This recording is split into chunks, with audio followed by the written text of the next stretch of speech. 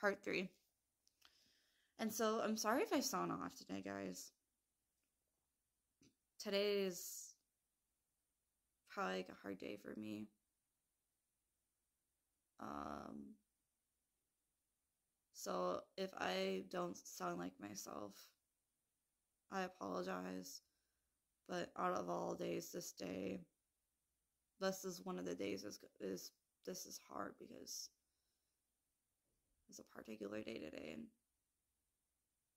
I mean, I'm just a mixture of emotions. And so, part three. And so, I'm just being completely real. Completely real.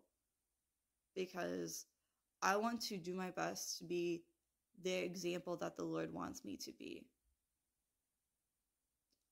I want others to see Christ in me. I want others to see something different about me.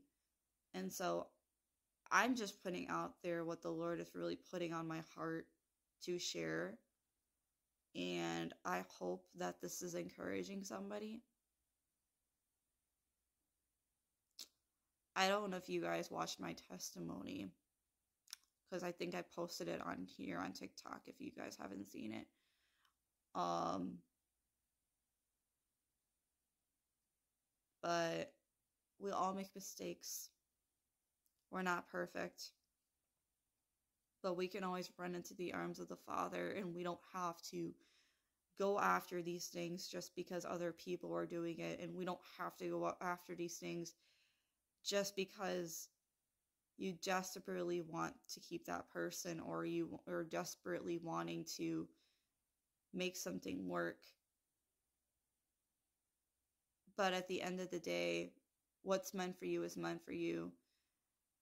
Sometimes God has to pull you away from something in order to work on both people in order to bring them back together.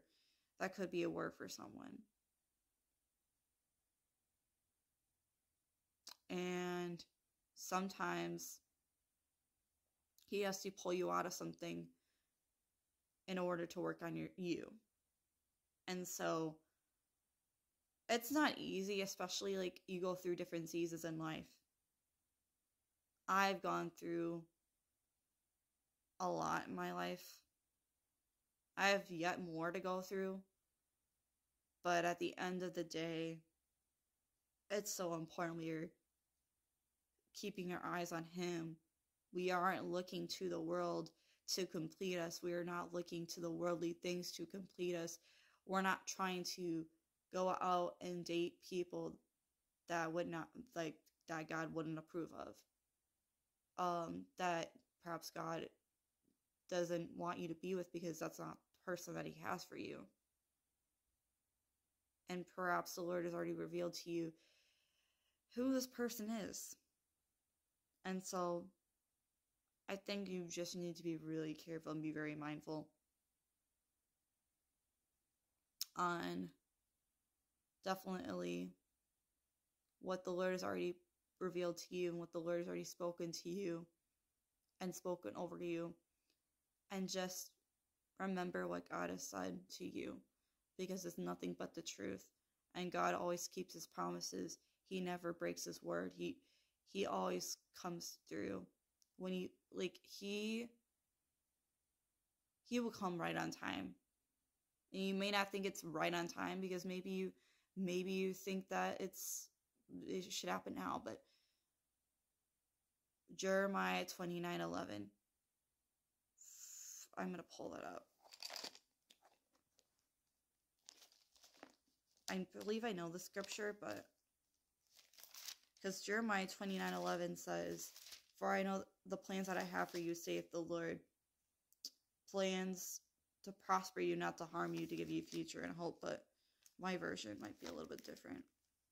Um, this might be different.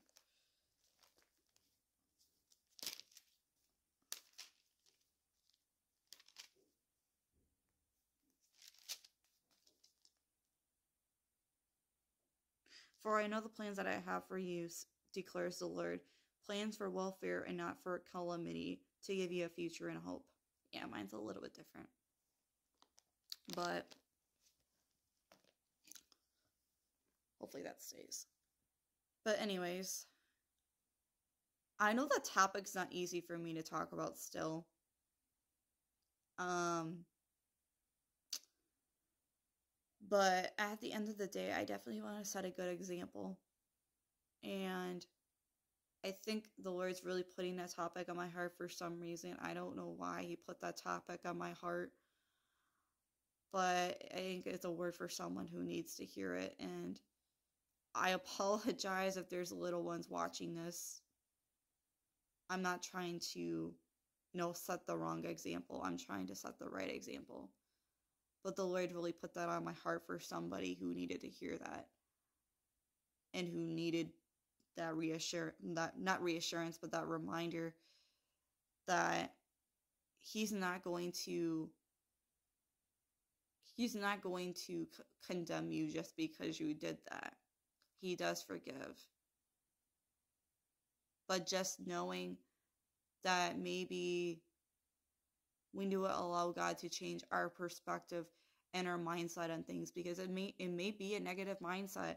It may be not a so good perspective. Maybe the perspective is worldly. Maybe the your mindset you have is worldly when it comes to that topic or and maybe anything any other topic.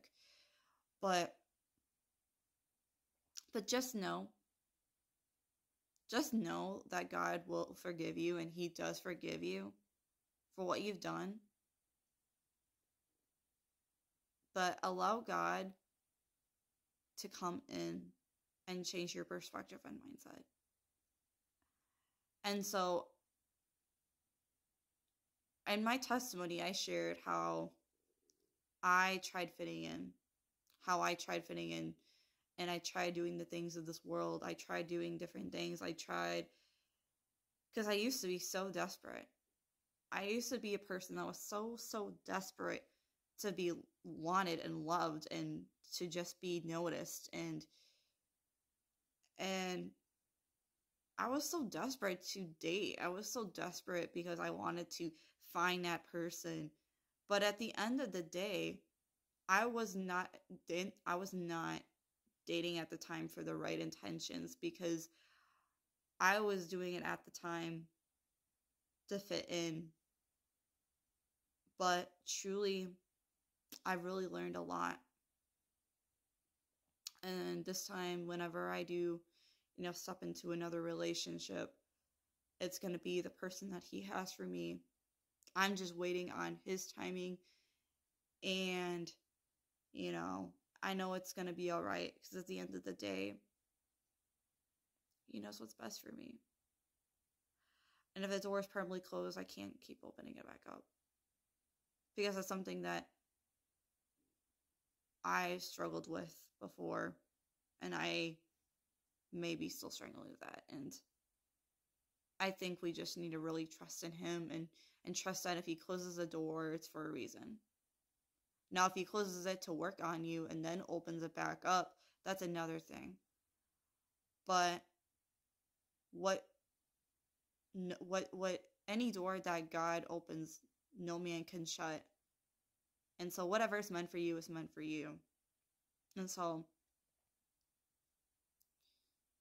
I might be making a part four. Is, is there more you want me to say, Lord? Yeah, there's more. So I'll probably make a part four today. But just know you don't have to keep going about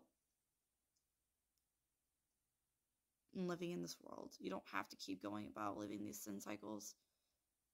You don't have to keep going about, you know, thinking that something's okay. You can allow God to change your perspective on it and your mindset on it. He will help you. And, you know, we all need healing and deliverance. So maybe that's something you really pray about is for God to heal you and deliver you. Um, but yeah, I'm gonna make a part four